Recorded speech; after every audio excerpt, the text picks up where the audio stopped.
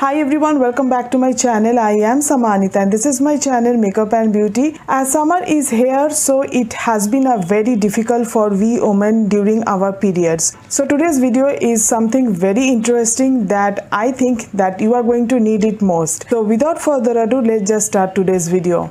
We all know that during periods, most of the girls and women use sanitary pads. But in summer, these sanitary pads become really tough to use because of the hot weather, we used to face lot of problem while using this sanitary pad.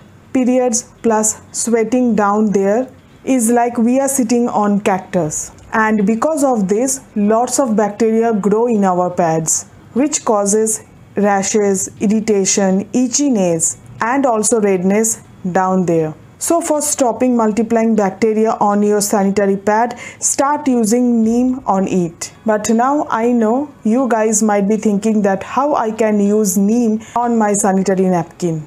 Girls, girls, no need to worry about it because we have Everteen Neem and Safflower sanitary pads.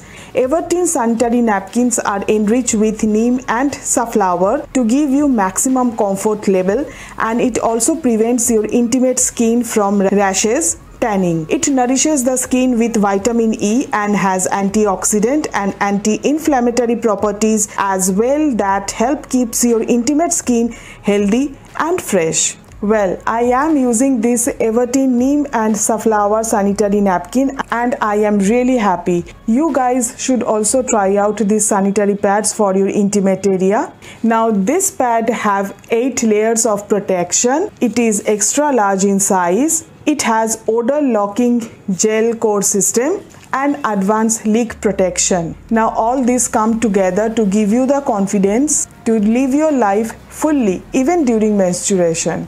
I have already added the purchase link in the description box below so you can buy it from that link. So yes that's all for today. I hope you like this video and I hope you are going to try out this sanitary pad. Trust me this is one of the best pad that I am using right now during summer and it is so comfortable that I can express it in a proper word. So that's complete my today's video. I hope you like this video and find it helpful. Do comment below in the comment section and let me know your thoughts regarding this video. I am signing off with a promise to be back in another video pretty soon. Until then, stay beautiful and stay stylish.